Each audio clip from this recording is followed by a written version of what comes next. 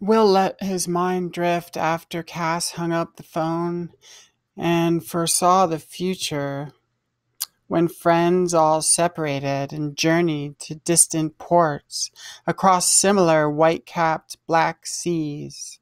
And the fists and forearms they brought together, those nights of camaraderie and fraternity, lowered and unclasped. Will saw his hands guided more by thought than instinct.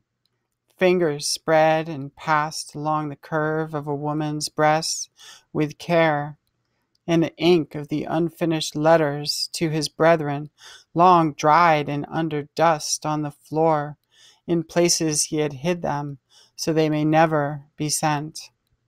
And if they were, returned or lost, as his great friends became great local leaders and great users and great spokesmen and lifers and lovers and megalomaniacs and recluses like himself. So aware of their ages and pasts and secretly fearful of the future their children need inherit. He foresaw. But he foresaw nothing of Cass she was absolutely unpredictable and frightened him like no other girl. Alive, she haunted him. Cold nights tried to crawl out between the bars and into the cracks and into bed with him. He was watched.